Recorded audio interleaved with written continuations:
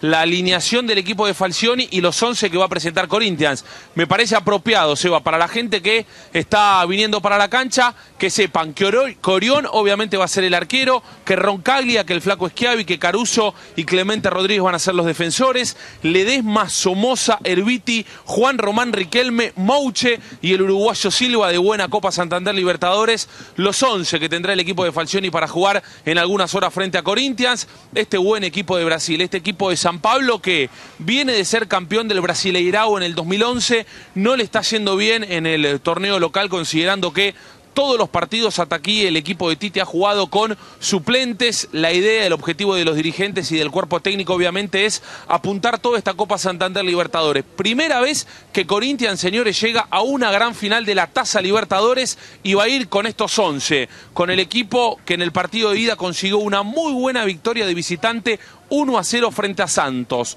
Los 11, Casio va a ser el arquero, Alessandro, Gicao, Leandro Castán y Fabio Santos, Ralph, Paulinho, Danilo, Alex, Jorge Enrique y Emerson Sheik. Diego lo vio, Emerson Sheik, un delantero potente que hace bien la raya. Van a tener que estar atentos los laterales de Boca. Para mí, uno de los mejores futbolistas que tiene el equipo de Corinthians, junto a Alex y Danilo. Un Corinthians que sueña, compañeros, con tener un buen rendimiento en este partido de ida, la primera final de la Copa Santander Libertadores. Bien, chiquito, gracias, eh, gracias.